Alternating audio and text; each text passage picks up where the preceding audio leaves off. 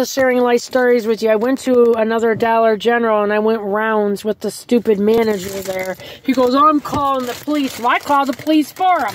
I go, it wasn't like I wasn't going. He just acted like an idiot fool. And he's getting his money. So that's bullshit. I got oatmeal cream pies, these donuts, these cakes, these donuts, applesauce, a good brush, and that. Now I'm going to show you guys, I got another mystery bag from Dollar General. I want to show you guys some really good stuff. I'm going to do another video and take a shower. Love you guys. And one of those good detangler brushes. All right, and applesauce. I'm going to give that stuff to the people at work.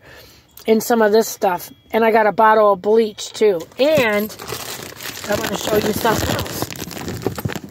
I got this good, expensive-ass face cream, Shieldio or something, like a half a bottle. That's real expensive. And then I got this L'Oreal Elvive. It's like hair oil.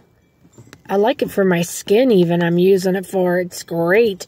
And I know this is like 8, 10 bucks.